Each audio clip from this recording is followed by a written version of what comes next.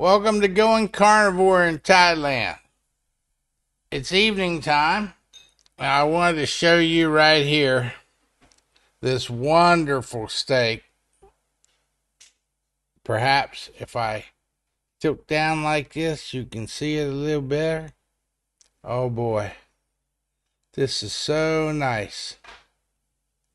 Anyway, I'm getting ready to eat this steak this morning I at noon or 12:30 I guess I ate the uh,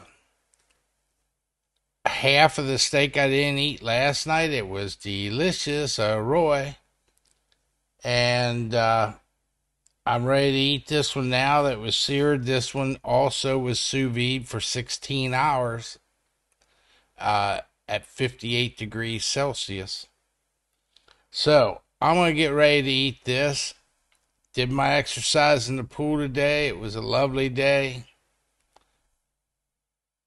Oh, I put on a pair of swim trunks that were really, really tight last time I tried to put them on. They just fell on. In fact, they almost fell off. Things are going great. Talk to you later. That's all, folks.